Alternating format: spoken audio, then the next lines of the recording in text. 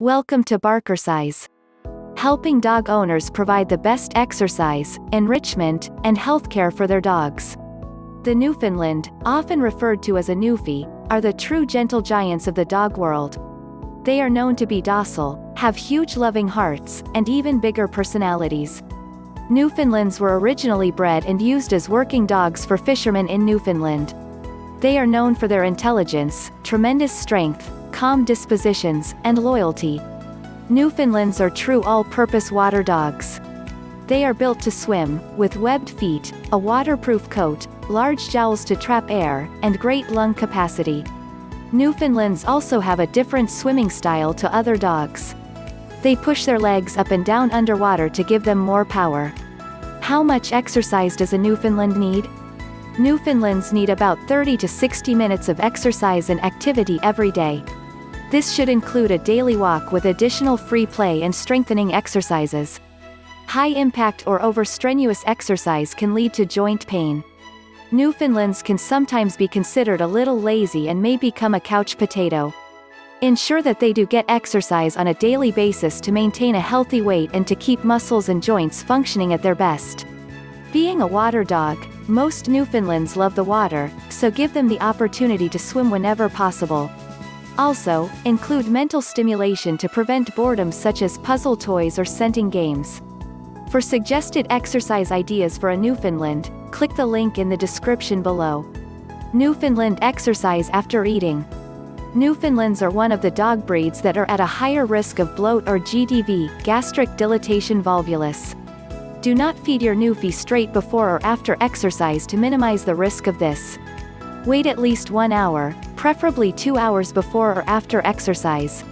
It is also recommended that you feed your Newfoundland on an elevated surface or from a raised bowl to aid with digestion and prevent GDV.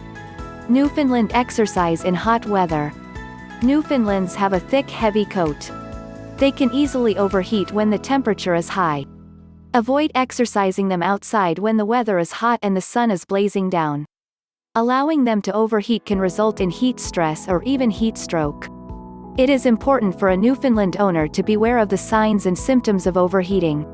Click the link in the description to learn about the symptoms of overheating. It is still important that they receive exercise even when the weather is hot. Just take precautions. The daily walk. The daily walk is essential for a Newfoundland not only to release some pent-up energy, the walk allows your Newfie to stimulate the mind with the sights, sounds and smells they come across. A healthy adult Newfoundland will require a daily walk of 25 to 45 minutes. The pace of the walk should be a casual comfortable speed for them. If your Newfoundland has good recall, off-leash walking or playing at the park are ideal. Alternatively, you can use a long line to allow them more freedom while maintaining control. In general, Newfoundlands are obedient and usually have good recall if trained. You can add extra resistance to the walk by using a weighted vest or dog backpack. It is recommended that no more than 10% of their body weight be added. This is more than sufficient to tire them and strengthen their muscles without overworking them. Other ways of increasing the resistance on the walk are to walk on sand or include uphill sections in the walk. Free play and activities in addition to the daily walk, it is a good idea to provide your Newfoundland with other activities to burn energy and prevent boredom. Free play in your yard or at the park is a great way to burn pent-up energy, provide mental stimulation, and have some fun. Muscle conditioning and strengthening exercises are also recommended to prevent injury. Some recommended activities for a Newfoundland include swimming, play with toys, and a game of tug-of-war. Mental stimulation and enrichment. Your Newfie will get some mental stimulation and enrichment from their daily walk and time spent with free play. However, it is a good idea to provide other activities that stimulate the mind. Mental exercise can burn as much energy as physical exercise. Some ideas to provide mental stimulation include puzzle toys, scenting and nose games, and environmental enrichment. Newfoundland Puppy Exercise the exercise needs of a puppy are quite different from those of an adult dog.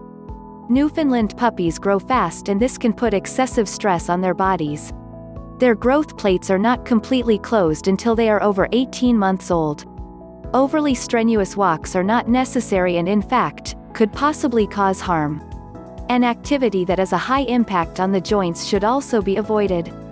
Socializing with other puppies or friendly adult dogs is a great way to burn some of that puppy energy along with teaching them the social skills they need.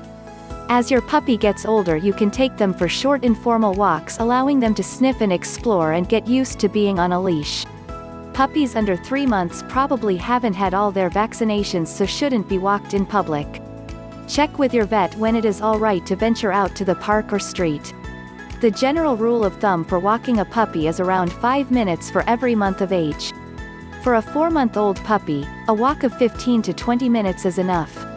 Monitor your puppy on the walk for signs such as lagging behind, lying down, or panting. End the walk if they seem too tired. Introducing them to the water and swimming while young is recommended and is a great low-impact exercise. Mental stimulation is important for puppies and can tire them just as much as physical activity. How much exercise does an older senior Newfoundland need? As a dog gets older they become less active and have lower energy levels. However, it is still important that they remain reasonably active to keep their joints and muscles mobile and to manage their weight. Many dogs develop arthritis as they age. Newfoundlands are also very prone to hip dysplasia especially as they get older. Exercise for them becomes a balancing act. It is important to keep their joints mobile and manage weight, but too much can make them sore. In summary, Newfoundlands require daily moderate exercise of 30 to 60 minutes. This should include a daily walk with additional free play and strengthening exercises. High impact or over-strenuous exercise can lead to joint pain. Newfie puppies do not require too much exercise as they are growing quickly. Exercise for an older Newfoundland is still important to keep them mobile and healthy but a balance is required to avoid soreness.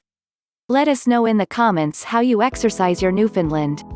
Like and subscribe for more videos on dog exercise, enrichment, and overall healthcare.